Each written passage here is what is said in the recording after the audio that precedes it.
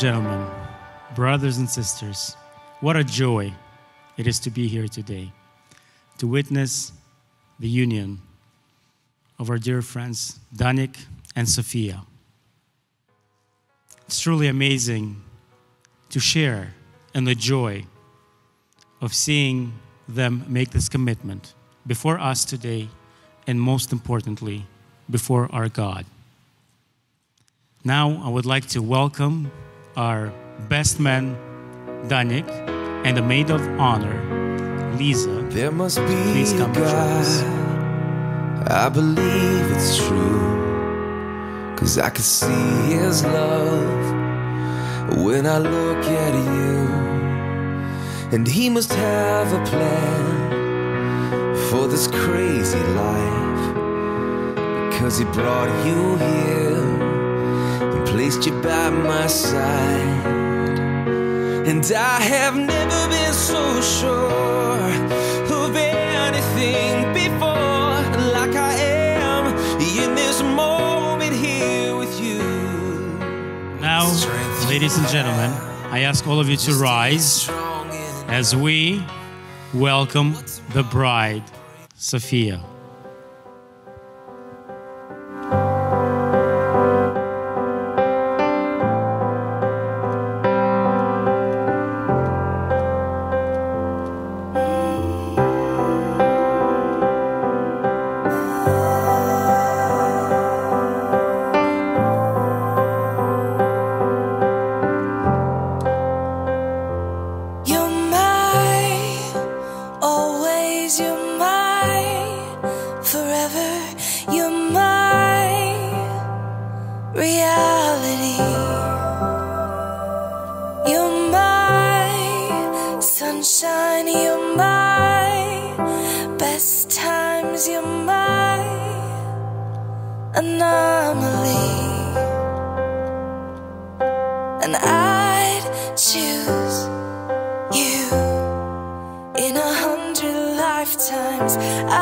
Choose you in a hundred worlds. I'd find you, and I'd say I. This is truly a special moment. Before we get to the sacred moment when they exchange the vows and become one, I would like to share a few things from God's Word. When God created man, He created Adam, one person, a man. It also says female and male, He created them. But then there was a problem. Adam was alone. Animals were in pairs, but for animal, for, for Adam, there was no friend, no helper. And then there is this verse in the Bible that we all know too well, especially people as they get older, and I'm sure the same was for Danik and Sofia. As they got old, older, Danik started to think that it is not good for a man to be alone. Neither it is for, good for a woman to be alone. So when creating a man and creating uh, humankind, God said, I'm going to make a partner, a helper for the man.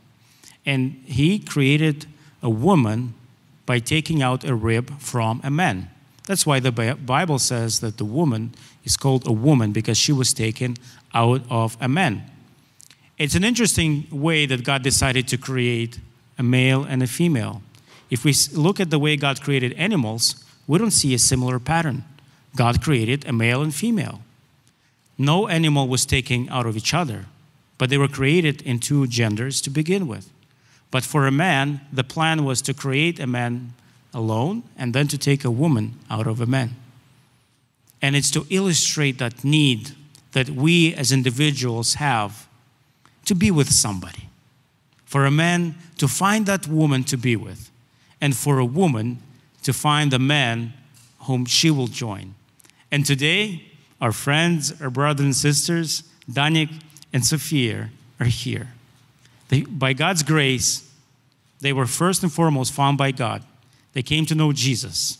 And also, they came to love each other. And today, they want to form a family. That longing that God gave in our hearts to be with somebody is now going to be satisfied. You together are becoming one person. That's what the Bible says, that no longer two, but one flesh. We, you know, a lot of us attend a youth group and we have a lot of discussions about romance and marriage. And one of the things that young people love to discuss is is there this uh, special someone that God created just for you? You know, is there really um, a soulmate, a second half, so to speak? Or you know, is there just time and chance? You, you know, you make your choice, and it could be any one of the people, basically, but, you know, you go with what you have. So, is there one or is there not the one? And you know what? Most young people, you know, come to the conclusion that, well, you know, technically could make it work with a number of people. But, and I do not say it pretentiously, and not just because I'm doing a wedding. When I look at Danik and Sofia and how you guys work together, and how you are as people and how you uh, relate to each other. I do believe that in your case, for sure, you were created by, uh, by God for each other. When I look at the way you are and how wonderfully, you know, the, how wonderful is the story of you coming together, of you coming to Christ, and how well I believe you're gonna function in marriage I believe that God did create each one of you just for you. I believe that you are the two special people that we're supposed to meet. So I believe that it's not by chance that we're here and that um, you guys are truly, you know, going to make us all very happy by seeing how well your marriage is going to perform. I truly do believe this is a start of something great. I believe that even for our young people who are here today who are not married, this is a good example to follow. If you have a chance to get to know Danik, get to know Sofia, and see how they live and function and work together, it is a great example of what a couple should be. I'm sure that many of you know that Daniel proposed to Sofia during a very challenging time. They were going through some dark times. They're so young, and yet they were going through a time of extreme testing. And I remember Danik, you know, making a proposition and saying, I want you to be my wife during that time. And I, I thought that was so special during a time like this. I could see the commitment. You know, later you're going to say your vows and you're going to say for better and for worse, in sickness and in health. And I feel like you've already, you know, done that. You've went, went through the most difficult times and you've been there for her. And I know that Daniel has been supportive all throughout your journey. And it's been such a joy to watch him, you know, take care of you so well, Sofia. And it was so wonderful, Sofia, to see your own path to God. Because you don't come from a family that's, um, that is Christian by the way we define Christian, right? That loves the Lord. And you didn't know much about Jesus or the Bible. You have not made a commitment to follow Jesus when you met Daniel, but you had a, such a miraculous and beautiful pathway to God. And I remember how in, I think it was in January of this year, you made the final commitment to become the follower of Jesus. You made Jesus number one in your life and you became his follower. Daniel, on the other hand, grew up in a Christian home, but I feel like his faith became reignited. It became more living or became alive, you could even say, more genuine for sure, after seeing what God has been doing in Sofia's life. So, God's ways in both of their lives and how He brought them to Himself and to each other, to me, it's very special. That is why, without reservation, I can say that these two people were made for each other. And I'm sure that as you continue your journey together, there's going to be difficult times ahead. There could be happy times ahead. But you've already illustrated this love and support for each other that you will continue doing that in marriage.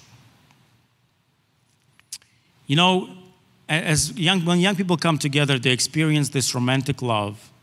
They have butterflies in their stomach, and all of these things God created, and they're great and they're beautiful. And I'm sure that you know you have a lot of feelings for each other today, especially. But it is the sacrificial love that never fails, because the romantic moments they come and go, but it's the sacrificial love where you really look out for the interests of each other before your own. This is the kind of love that will never fail. When God lives in your heart and He changes your heart and He dwells in your heart, He gives you that love for each other and for other people around you. That is why I hope that you will continue to grow in Jesus, continue to grow in your faith. I know that already you're making commitments, like to spend your uh, honeymoon at Tropinka for two weeks. That's great. That's a great example to follow. You are already making commitment to follow God with the gifts that He is giving you. I'm sure that you will continue to get to know God through scripture reading, through prayer, but most importantly, through obeying Him and prioritizing Him over all these other things that come, come in life. You're going to have, you know, career uh, ambitions. You're going to have money. You're going to have worries of everyday life, just to go here and there, run to and fro. You're going to have a million things, but you have to keep Jesus at the center of your life. Jesus is love. When you have Jesus in your heart, you have love in your heart because God is love. And the closer you draw to Him, the closer you draw to each other. But of course, the main goal is to, first and foremost to draw closer to God. And if you have that, and I believe you will have that marriage that is uh, going to be built on Jesus, built on God, it's going to be an illustration to the people around you of several things, one of which is the relationship between Christ and his church. Christ loves his church and gave himself fully for the church. He did not hold anything back. And this is, Daniel, how you are to give yourself fully for your wife, to sacrifice everything you have for the woman that you love. And church, supposed to be, at least living churches, are obedient to Jesus. And they return uh, the love that they received with faithful obedience. And I'm sure that as a wife, you will be doing that towards Danik, that you will be an obedient wife, realizing that God made him the head and the priest in the family, and that you will honor that. And I truly believe that your union will be a demonstration to this world of the relationship between Christ and the church. And also, your love for each other will also demonstrate to people what true sacrificial life love is like. In the world we live in right now, many foundational principles are being rewritten. Many people are trying to change everything. But the fact that we're here today, a man and a woman joining to become one in church before God, is already a, testimony that Jesus is alive, that God's principles will not be shaken. And I'm sure that the success of your marriage will be another illustration that what God has made and His plan is beautiful. It leads to happiness, it leads to joy, it leads to fruitfulness. Whereas what people when people break God's commands, it only leads to depression and destruction. Remember always to draw closer to God, who has already done so many miracles for you, who paid for your sins, who brought you together. And in the process of drawing closer to God, you will draw closer to each other. Amen. And now let us all stand. I'm going to ask Danik and then Sofia to pray. Dear Heavenly Father, God, thank you for this day, God. Thank you that we are all here, that we can be all together, celebrate this beautiful day, God, that we are, our marriage, our future journey, God, with you and with your blessing, God. I know you have a plan for us, God, and I know we'll be always under you, God, and we will follow you, God, and follow Jesus as well, God. I'm asking for the blessing for this, for our future marriage, for our future family, for future our foundation that we want to have, God, and also asking for blessing for all these people who are here to celebrate with us. And I'm asking for, and I'm actually thankful, God, for my beautiful wife, Sofia, that she's here right now in front of me. And God, thank you that you connect us together, that you brought us together, God. And God, thank you that we are, you show so many miracles for us, God, and we are celebrating all of this just in your name, God. Asking in Jesus' name, amen. Amen. Dear Heavenly Father, thank you for the last exactly four years spent with Daniel, getting to know him, but also slowly every single day getting closer to you. You've done so much for us. You've created so many miracles in our lives. We have so many wonderful people here to support us today. Thank you for that. Thank you for everything for everyone here in this room today. I ask you to bless our family, help us build a firm foundation upon you. Help us, help me and Daniil just create a wonderful, strong family. Teach the future generations about what you've done, what it means to follow your name, and what it means to love you. Help Daniil lead our family, be the head, make the right decisions for our family, and help me follow him, help me trust him, and trust all his decisions. I ask in the name of the Lord. Amen. Dear Heavenly Father, we thank you for this beautiful moment when we can witness this union. God, we thank you how you've done so many miracles in their lives, how you've brought them together, how you've shown yourself to them, even through difficult times, God. I pray, God, that you'll fill them with your spirit, fill them with love, fill them with your guidance, Lord, with your wisdom, so they can build their marriage, their foundation on you. If it's your will, bless them with children who will also be obedient to you and come to know you, God. I thank you, Lord, that you are still active today in saving people. So many years have passed since the cross, and so many souls are still being saved. Help us, Lord, as a community to be supportive of Daniel and Sofia. Thank you for their example, for the encouragement that we receive by seeing them together, Lord. I pray for Danik and Sofia right now, especially during the difficult times, that they will remember this day, that they will remember, Lord, all the, the great things you've done in their lives, that they will, they, you will have, they will have your wisdom, your love to overcome any challenges that they may face.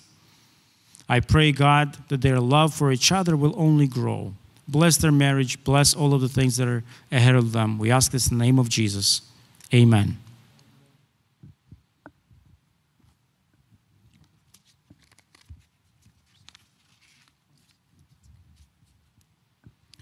Okay, and now you guys are going to exchange your vows. You will make a promise for, to each other for the rest of your life before God and before all of us as witnesses. Dear Daniel, today you stand before God and these witnesses to exchange your vows and to commit to a lifelong journey together. Daniel, do you take Sofia? To be your lawfully wedded spouse, to have and to hold from this day forward, for better, for worse, for richer, for poorer, in sickness and in health, to love and to cherish until death do you part. I do. Sofia, do you take Daniel to be your lawfully wedded spouse, to have and to hold from this day forward, for better, for worse, for richer, for poorer, in sickness and in health, to love and to cherish, until death do you part. I do. You guys now, Daniel, you will take this ring, which is a symbol of the commitment that you have just made.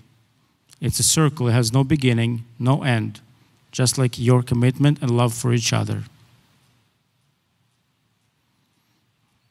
And now, Sofia, you can take this ring as a symbol of the commitment that you have made. And now, with the commitment made before God, before us, with the rings exchanged, the most fun part, you guys get to kiss each other.